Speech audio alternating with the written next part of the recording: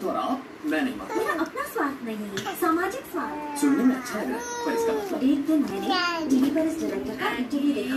बहुत ही घटिया बात करता है। इसके दिल में औरतों के लिए इज़्ज़त ही नहीं बच्चों के लिए प्यार नहीं समाज के लिए ज़िम्मेदारी सेक्स, वायलेंस, भूत चुड़ैल कितना डरावना है।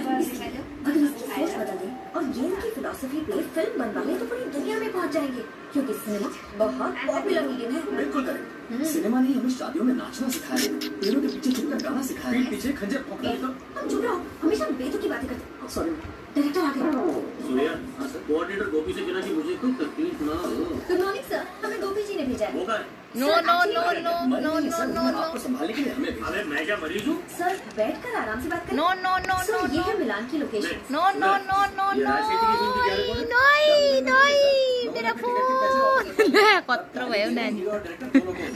छोडा न एकछिन